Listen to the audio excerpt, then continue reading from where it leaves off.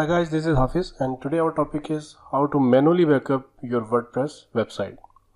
We are going to see how to backup your complete WordPress website manually, including your database. Many users lose access to their WordPress admin area after a hack attempt or some plugin errors. In this case, most tutorial recommends that you create a complete WordPress backup. If you lose admin area access, you cannot install any plugin to backup your website. So this is where knowing how to make a manual backup of your WordPress website manually comes in handy. This step-by-step -step guide will show you how to manually backup your WordPress website including your database.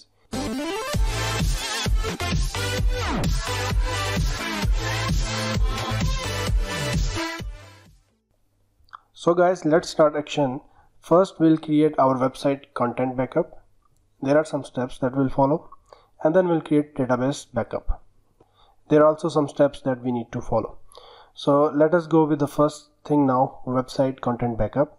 We have step one, log into cPanel of your website, then open file manager, then create zip for all website contents, and then finally download that compressed file. So let's do this step first. We'll go to our website so here I have my uh, WordPress website which is broexperts.com I'm going to take backup of this whole website including the database of this website. So for this I have to log in with the cPanel. So to open cPanel of this website I just have to write cPanel. And here I need to log in with my username and password. So guys you can see I logged in already with my cPanel account. Here you can see file manager because our second step is open file manager. So I'll open my file manager in new tab and we'll see the next step is create zip for all website contents. So once your file manager load all the directories and files you need to find public HTML you can see here I got my public HTML here. I'll double click on this one. And here you can see all the directories and the files.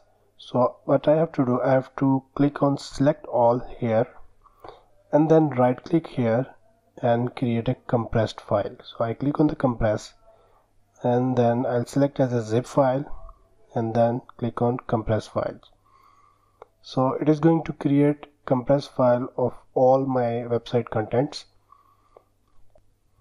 You can see it is creating dot attract a dot zip file. Why? Because it took the first directory name. It didn't give us option to choose the name. It took automatically so you can see it compressed all my directories and files. I can close this one and if I scroll down so here you can see it created a dot attractor.zip file and it tells me the size is 245 MB so let us rename this file first. I'll right click and rename because this is a backup of my whole website so I'll say uh, complete underscore backup underscore on. Today is uh, 0 5 dash 12 dash 2019 so I give a logical name. Complete website we can say. Complete web backup. And I give the date also. So we can rename this file. And then you can see uh, this file is renamed here and we can right click now and click on download. So our last step was download that compressed file. So we right click and download this file and click OK. Now we got all the content of our WordPress website. So let's move to the next step. The next step is database backup. Here we need to perform three steps. First is log into cpanel which we already done. We are already logged in with our cpanel account so then in the cpanel we need to open phpMyAdmin and then we need to select the database that we are going to export.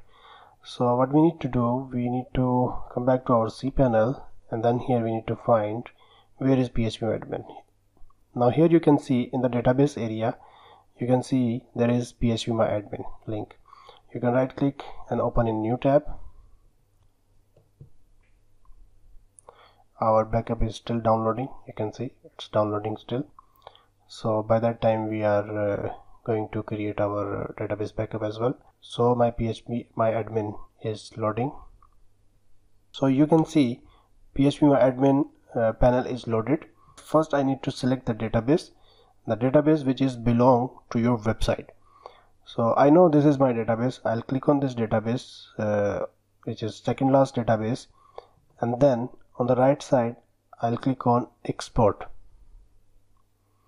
You need to make sure that you selected a right database that is actually associated with your website.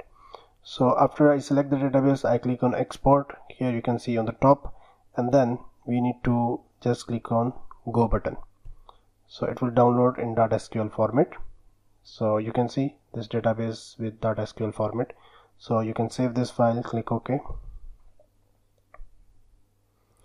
it's downloading my database file as well. I have a big database. I got lots of stuff there. So that's all guys. You can see I downloaded my database also and complete website content. So this is my website complete website backup including my database. I hope you got an idea how to manually backup your WordPress website. Please subscribe my channel and hit like button for more videos.